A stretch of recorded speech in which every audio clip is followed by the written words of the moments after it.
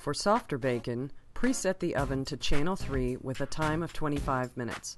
For crispy bacon, use channel 7 for 20 minutes. Place the bacon onto a sheet pan, then insert the pan into the oven when the display reads Load.